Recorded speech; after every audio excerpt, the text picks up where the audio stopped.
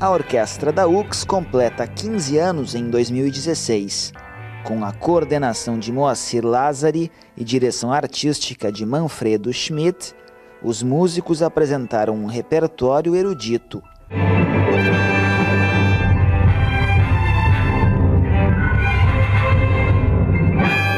A orquestra busca fomentar a música de concerto para contribuir no desenvolvimento cultural do indivíduo, com vistas no resultado coletivo, agindo pela construção de uma sociedade culturalmente enriquecida. Além disso, promove intercâmbio com maestros, solistas e grupos convidados, nacionais e estrangeiros.